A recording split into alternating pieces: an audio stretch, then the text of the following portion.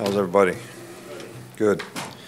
Well, I was really the way, proud of the way our players competed in this game and finished the game. Uh, I thought we really started out well in the game. We just left some money on the table in the first half in terms of not scoring touchdowns in the red area, taking two field goals, then missing a field goal, then have an opportunity for a field goal at the end of the half and get a penalty and put us out of field goal range. So, um, you know, but I thought we controlled the momentum of the game until they scored right at the end of the half in their first drive in the second half. Uh, but I was really proud of the way our players, going down 14 13, uh, played in the second half. Um, after we got in that position, I thought it was great competitive character on their part to uh, persevere, scored on offense, scored on defense, uh, controlled the ball, uh, played better on defense.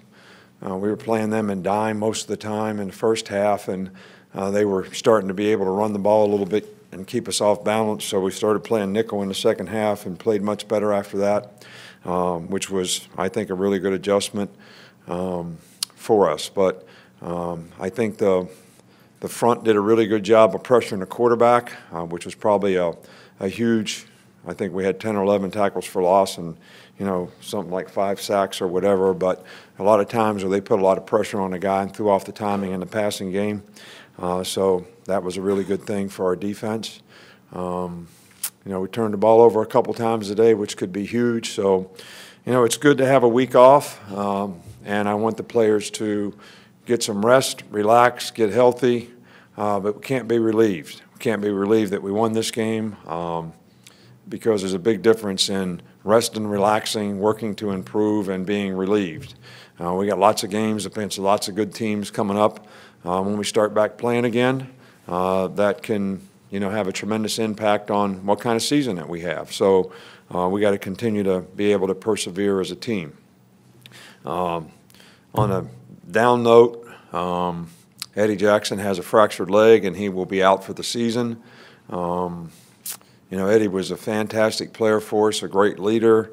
Uh, I think an All-American player as a safety, uh, at least in my book, and uh, we're certainly going to miss him. But um, what a great player, what a great competitor, and um, what a great guy to have in this program for the time that uh, he's been here. He's done a fantastic job for us, and um, you know, I'm just sick for him and his family, and uh, I hate it that uh, it's one of the things about uh, sports, all sports, um, that we all have to deal with sometimes is injuries. Um, it's unfortunate, especially when it happens to a great guy and a very, very good player, and we'll certainly miss him. Ask about the, left side with Michael. Uh that's about the first drive of the third quarter when you guys get the ball back down one. Uh, what worked so well, and how big was that in the momentum of this game? Well, I think that was a big momentum play, and then I think when we scored on defense shortly thereafter, that was a big momentum play, and those, you know, we got a break on the roughing the passer on the first drive that gave us a first down on third down. So, um, but we took advantage of it and we were able to score a touchdown in the red zone, which was really, really important. So uh, I think those two scores probably uh, in that short period of time were real keys in changing the momentum of the game. In a strength on strength matchup, their running game versus your run defense. How'd you how did you guys limit them so well? Well, I, I think that you know it's not really strength on strength when they got four wide receivers in there all the time and you're spread out all over the field and uh, they got some really good skill guys and um, you know you're really playing five on five in the box most of the time, um, which is how we were playing you know a lot of the time and uh, early in the game, we did a good job. Later in the game, they started spitting some runs on us, so that's when we started playing nickel, uh, which is what we probably play the best. And I thought we did a much better job against the run. It created more passing situations, and we were able to take advantage and start getting off the field a little better on third down. Coach, I know the process doesn't change from year to year, but what do you think makes this team so lethal from all three phases of the game? Makes this team what? So lethal, offense, defense, special teams. Well, you know, it goes back to the players, number one. The coaches do a great job of uh, developing the players, coaching the players, but uh, the players do a great job in their preparation, their hard work, um, their discipline and due diligence to go out there and everybody buy into doing their job so that uh, we have a chance to be successful. And, um, you know, there, there, there are many, many things that we need to improve on as a team. Uh, but I've been proud of the improvement that this team has made and the way they have responded and the way they've competed um, all year long. This has been a tough stretch for us. We've had four really tough games. And uh, they've done a good job of playing with consistency. And uh, I, I think that's, that's the number one thing that we always strive for. Uh, I can't tell you what, what, you know, it's the players, the execution, uh, everybody on the team, uh, on that particular unit doing their job uh, that helps some of the playmakers that we have make plays. Uh, and I think you have to give the players a lot of credit for that, and you certainly have to give our coaching staff a bunch of credit for putting them in a position to have a chance to make those plays.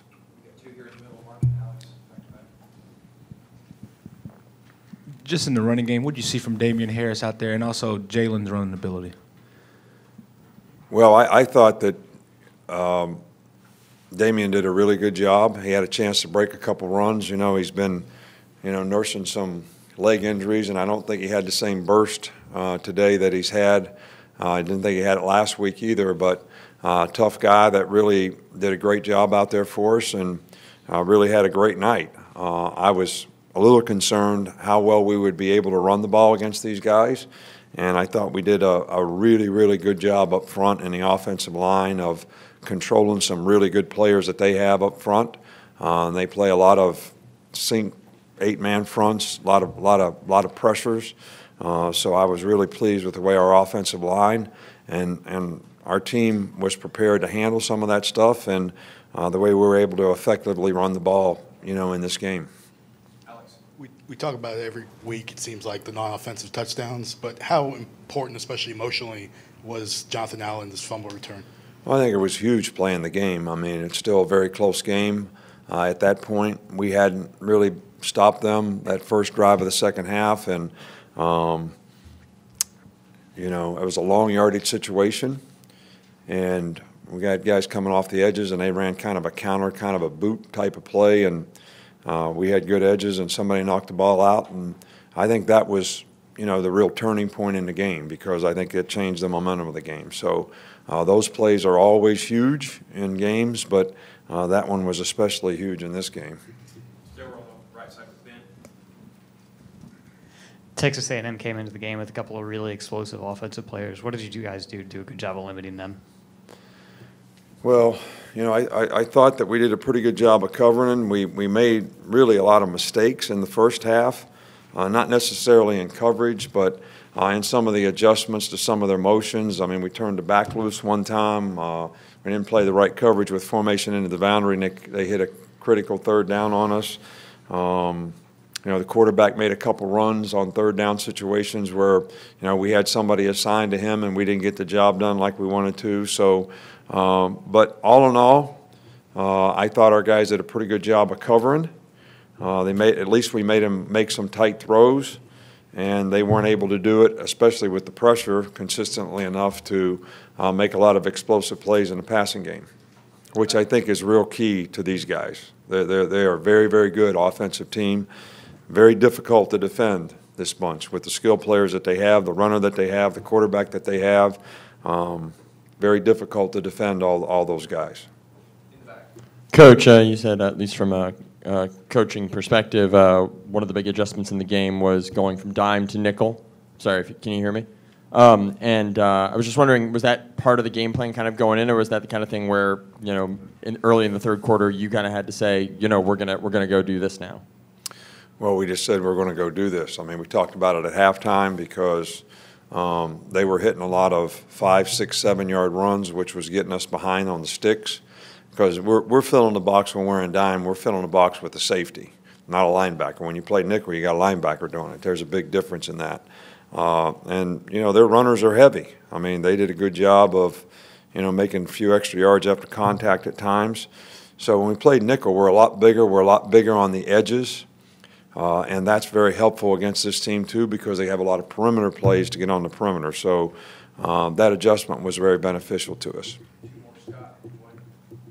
Nick, talk about the perimeter blocking, and I think your team does a consistent job of maintaining blocks down the field for explosive plays. You agree with that? And Well, I don't think there's any question about it. Our receivers have done a fabulous job, and, you know, it really shows uh, their willingness to do whatever they need to do because, to be honest with you, we have some guys that are capable of making explosive plays, and sometimes we're, we're, we missed on some of those plays, and we've missed on them, you know, some more than we'd like all year long.